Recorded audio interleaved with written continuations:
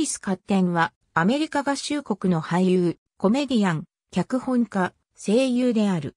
俳優、コメディアンとして知られるカッテンは、1970年にカリフォルニア州ロサンゼルス市、シャーマンオークス地区で生まれた。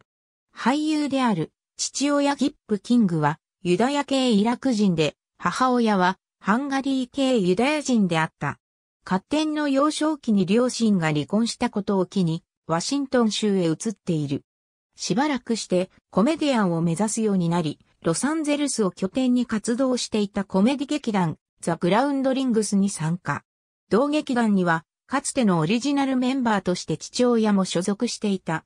その後、ニューヨークへ渡ったカッテンは、人気テレビ番組のサタデーナイトライブにレギュラー出演するようになり、徐々に知名度を上げていく。そこで作り上げたキャラクターは、お茶の間からの人気も得て、多くのファンを生んだ。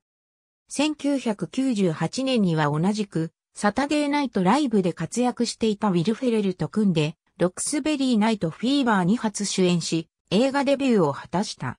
サタデーナイトライブのレギュラー出演を終えた後は、役者としての活動を本格的に始め、ブロードウェイデビューも果たす。テレビにおいては、CBS 系のクイズ番組の司会も務めている。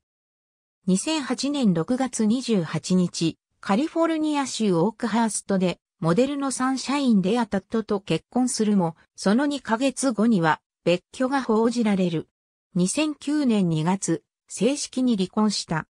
2014年2月10日、処方箋薬の影響下で自動車事故を起こし、バランス感覚などを調べる飲酒検査もパスできなかったことから逮捕された。ありがとうございます。